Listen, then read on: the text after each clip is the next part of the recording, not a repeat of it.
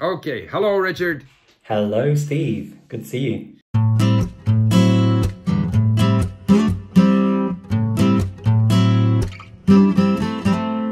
So I am nice to see you. I'm very happy to have with me today Richard Simcott, who, and he won't like this term, but he's kind of like the godfather of these international polyglot gatherings. And in fact, he is because he created the first one and he's a very well-known polyglot and presence in the sort of international polyglot community. And today I want to talk about, or with Richard, about his latest project. So welcome, Richard. Well, thank you, Steve. Well, I don't know who you are then. If I'm the godfather, who are you? You're going to have to think of a nice nickname for yourself, Steve. I'm the old guy sitting on the park bench. anyway. At least, at least you're anyway. throw, are you throwing beer cans at people who pass by as well, or not? Darn right. uh, waiting for someone to come and sit beside me so I can talk to them in some language. But you, of course, are the creator, in my opinion, of the Polyglot Gathering. Yeah. I think it was called the Polyglot Conference, and then there were other similar events, Polyglot Gathering, Langfest in Montreal, and, and everyone collabor collaborates very closely in all of these yeah. things. And there was going to be a Polyglot Conference with the collaboration of Langfest in Cholula, Mexico. And now with the COVID, that's not going to happen. And instead, you have embarked on a new idea. Indeed. And I would ask you to explain it. Absolutely. Well, I'm thrilled to be here and thrilled to be talking to you and to tell you about what we're doing. So, this year, obviously, with what's going on around the world with the pandemic, our original plan was to go to Cholula, like you said, and now we're going to make it a truly global conference. We've been given this opportunity to really open it up to the entire world. So, what's going to happen is we're all going to be using the polyglotconference.com website as a base. Uh, people can register there already. There's a forum where people are already talking to each other ahead of the conference, and we're going to put information and drip through, feed it through that uh, platform. And then what we'll do is we'll have an entire area where people can talk to each other, they can practice their languages. Our sponsor italki is organizing rooms with their teachers as well to have kind of guided conversations and they will take place all the way through the day. No matter where you are in the world you will always have the opportunity to meet up with people. So in that sense it will be truly global. We're also can gonna, I stop oh, you sorry go ahead. Can I stop for a sec? Give me once again the website the URL because we're mm-hmm. going to flash it on the screen. Okay polyglotconference.com okay and the dates the dates are from the 16th to the 25th of October Okay, sorry to interrupt you. No, you're Please very continue. welcome. Very important information to share. And yeah, it's going to be, you heard right, it's a 10 day period this year. So what we're doing is we're taking advantage of what we've been given. So instead of just making lemonade out of lemons, we're making really sweet lemonade that we want to drink. So basically with all of the presentations, they're pre-recorded which means that we're going to have a Netflix drop style on the Friday evening. We will drop all of the presentations People can watch them at their leisure. There's no fear of missing out. If people want to get together and organize viewing parties, they can do that. They can chat around the presentations. They can watch them, binge watch them if they want. If they don't feel like talking, then they can just jump in and start answer, asking questions in the comment section on the videos themselves. And then they can also join in with live aspects of the conference, talking to different sponsors like LingQ, for example, um, like other sponsors that we've got with italki teachers around the whole time, and the other sponsors we've got advertised on the website too. You have chance to, to meet, mingle, meet with other participants, practice your languages, get to know each other, take part in some of the great uTalk activities with Langfest for the competitions, you know, these sort of fun activities too. There's going to be a lot going on over the 10 days. But the cool thing is, is we do have 10 days. We don't have to rush you. We don't have to have everybody waiting up all night because this fear of missing out. You're going to be able to fit it around your normal schedule. If your weekend happens to be Thursday, Friday instead of Saturday, Sunday, then you can take part whenever you're ready, whenever you want. And it's also donation based. So if you can't afford or you don't feel able to afford at the moment to give money, you're still welcome to join us. Wherever you are in the world, all you need is your internet connection, something to log into onto the website, and of course, a love of language. You don't have to be a polyglot. It's called the polyglot conference only because it was born out of that community, original community online. You just have to have a love of language. So even if you're interested in learning your first language, you're going to be made very, very welcome. And then the other very important thing is you need a smile. And even Steve's a smile for go. us okay. these things. questions. A few questions that come to mind. First of all, what languages are these presentations going to be in? That's a very so far, question. based on what you have so far. So so far we've got a number of languages. Um, so we've got off the top of my head, we've got one in Russian that I know. We've got them in Ladino, um, in Portuguese, uh, obviously in English, quite a lot in English. People often do tend to, to write them in English. We encourage other languages, but we do get a lot in English. Um, there's going to be one in ASL. There are a couple of multilingual ones already, um, which have various languages included, like Finnish, um, Swedish, Italian, um, I think Spanish as well. We've got, we're going to have a number of others already just waiting on them to come in. Okay, now, question. Uh, since it's uh, pre-recorded and you mentioned Netflix, are there subtitles? Are there translated subtitles? So what we're trying to do is make sure that the subtitles are ready for when the conference starts. So some of the videos have already got subtitles attached to them, and some of them are translated into different languages. We have one that's got English and Persian subtitles, for example, because it's about um, Iran and, and, about the Persian language. So um, we have got some of them already. Well, we're working with a volunteer team now to create mm-hmm. subtitles where we don't have them for all of them. And it's not just for the language aspect, but also for the accessibility for people with, um, say, hearing issues where they can't hear what's being said. They can at least right. follow by reading them. Mm-hmm.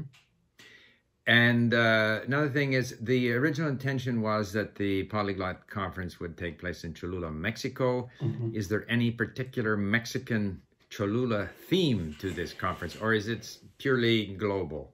So this conference itself is global. Um, of course, we are looking towards Mexico as well. So one of the themes that we, we, we asked people to submit presentations under was the road to Cholula. So we're going to have things about Nahuatl, about life in Mexico, um, about Mexico mm-hmm. itself. And so we will have the elements of that uh, included. I know that Anya and her team at Zaloa Languages, um, who've partnering with us for this year as well as next year, uh, they've been very busy actually creating materials, creating videos, presentations that are going to be of interest for anybody with a fascination for Mexico. And uh, so joining us in Cholula, hopefully next year. right. Can you can you give us an idea because you mentioned Nahuatl?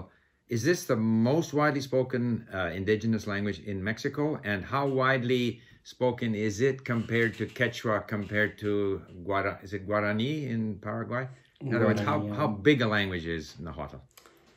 Um, so it's a very difficult question to answer. Um. I, I'm not sure how it compares to the other ones. I wouldn't have those facts in my head. I'd need to Google that, mm. or at least to okay. ask somebody okay. with, with, with, with, with better information than I've got. Um, but it is the local language of Cholula. So that's the local indigenous okay. language of Cholula, which is why Nahuatl is always mentioned sort of when we talk about the conference in Cholula. Now, the Nahuatl language, when you talk about language, is actually many different Nahuatl languages. There are, and it and it spans over Central America. So it's not just uh, one Nahuatl language oh, okay. in in Mexico. Um, it's the same thing with the Mayan language. There are actually they're the Mayan right. languages, so they can sometimes be as diverse as Indo-European languages can be diverse. Uh, so it could be, mm-hmm. you know, as as different as French and Italian, where they're not really right. going to be able to have a conversation with each other if they meet in the mm-hmm. street. Mm-hmm. Right. Now, another question that I have: this global conference looks like a, it's like so much that's happening around COVID. How much of this stuff is going to change how we live, how we work, how we behave, how we learn? So, do you think there are elements of what you're doing for this global polyglot conference that will mm, carry forward into future uh, polyglot conferences? Um, well, yes, is the short answer to that. Um, yes, I do. I think that it would be foolish to, to think that we're going to go back to just the way it was before. I think that mm-hmm. this has been a game changer for many, many reasons. And I think mm-hmm. the, the sort of throwing the baby out with the bathwater and not, not retaining what's, what's good about what's happened would be foolish. Mm-hmm. I think that there are a number of lessons to learn as a, an events organizer to how we can actually add value to the conferences in the future. So I would definitely like to see this global element uh, continue uh, throughout. Of course, I think there's there's always something to be said about getting together in person, breaking bread, going out, exploring a city, exploring a country together as a group, mm-hmm. and it would be absolutely awful to think that we weren't going to do that again. So mm. I would definitely not want to go down that road and just say we're going to do it all online right. for, from now on. But at the same mm-hmm. time, there's an inclusiveness about doing it globally and also taking this 10 day period is really mm-hmm. quite exciting because we're not restricted right. by times, we're not restricted by space and by renting mm-hmm. certain areas to say, okay, you have to speak this amount of time at this time on this day, and that's it. If it doesn't happen, then it, that's it, it's gone. Whereas right now with this, we can say, if your presentation is 10 minutes long, it's 10 minutes long doesn't matter. It's not like you have to right. sort of occupy the stage and change things over mics and things. It's all done and it's mm-hmm. all ready. Mm-hmm. So we've got a lot of advantages from this that I think would be foolish to throw out and not retain. One last question. You mentioned the word inclusiveness, and mm-hmm. I've always felt that at our polyglot gatherings, conferences, Langfest, everyone I meet there is able to put five, six, eight, nine, ten badges on their chest, indicating the languages they speak. And I've always felt that we are kind of we always limit ourselves to those people who have already taken the plunge into mm-hmm. polyglotism and enjoy learning lots of languages, and that there's a whole bunch of people on the sidelines that we should be, you know, getting mm-hmm. into the swimming pool with us.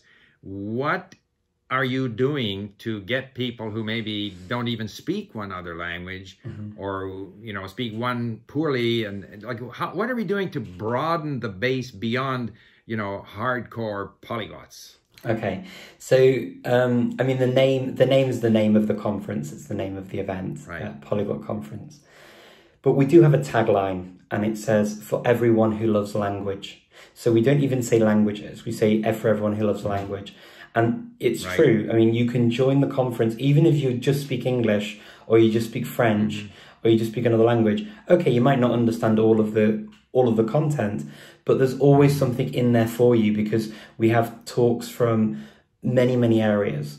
So mm-hmm. every year we have themes at the conference. So we've attracted people in the past, say in Reykjavik in Iceland. One of the themes was um, autism and multilingualism.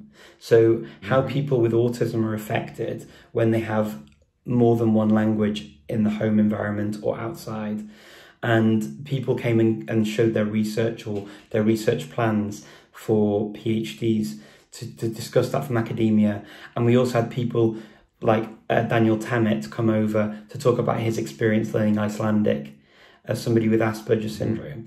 Now, we attracted people who came to the conference who were interested in the autism side of things and maybe had right. been interested a little bit in languages and they saw that actually it's really uh, applicable to them and the people that were at the event were not these elitist people who were you know saying oh you don't speak enough languages or anything like that and every year because we change this theme and because we add on in in, in slovenia we had a language learning day just for people mm-hmm. who were learning their first second or third or whatever language and we invited right. anyone and everyone to come. So we had a full day for those people to come mm-hmm. and to join in, and just right. to sort of show them how approachable we are. And you know as well as I do, we're a pretty friendly bunch. And I think oh, um, the, the, friendliness and the the people are just accepted regardless of, of whatever. There is not a more supportive group than the polyglot group. But, but I guess I guess what I feel, you know, for people who love language, there's a lot of people who think they might love language, but they have this recollection of trying to learn languages at school and they sort of say, well, I can't do it. You know, I'd love to be able to speak Spanish, but, you know, it's a lot of work or I can't do it mm. or I was bad at it in school. And, and I just think if we can get people into the sort of environment that you just described, this environment of a bunch of friendly, supportive people, that that might encourage more people to learn languages. So hopefully, we will encourage some of those people to join us virtually Exactly. and realize and sort of uh, get the fever, so to speak. Yeah, and I hope that you know things like this, talking about this kind of topic is really important. So the more we talk about, it and the more we mm-hmm. repeat the mantra of everybody's welcome, and it doesn't matter whether you're learning Right. your first or your thirty-first language, you're you're welcome at the Polyglot conference. And I think that everybody's going to find friends. And I've met people who have come for the very the very first time, and they said they were they were sort of a bit anxious about coming, you know, mm-hmm. about the event, and they they were quite open about that. And then they said, actually, do you know what? I don't know why I was so anxious, and I don't know why I waited, and I don't know why I missed that year, and I waited to this year to come because everyone's so nice, and they make friends for life. They end up going on holidays Exactly. together. They end up talking together online and, and meeting with each other outside the conference. And every year I hear the same kinds of stories, and it, it encourages me that we are opening up, we are opening out and reaching out. And, you know, I, I always give this example actually from my own life. One of the most inspiring people that I met in, in terms of languages was a monolingual English speaker who was just so well read and had a wealth of knowledge and a depth of knowledge of the English language that that person actually inspired me um, in my own language learning as much, if not more, than many other multilinguals that I've met. Well, we're going to leave a link in the description box. Uh, we certainly don't look down our noses at people who only speak one language. Uh, but we do enjoy the company of our enthusiastic and friendly polyglots. And so I'm looking forward to the conference. I'm look forward, looking forward to connecting with you and Anya and the others uh, virtually this year and hopefully the following year in Cholula. Yes, me too. Thank you very much, Richard. We'll be in touch. Thank you very much. Thanks for having me. Take care.